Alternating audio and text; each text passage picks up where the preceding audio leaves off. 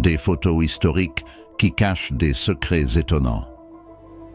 Un homme visitant une tribu en 1961, cet homme est Michael Rockefeller, visitant la tribu Asmat.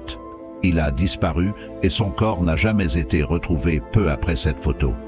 Mais, quelques années après, Fraser Heston a réalisé un documentaire sur les Asmat. Dans celui-ci, nous pouvons voir des hommes pagaillant avec énergie.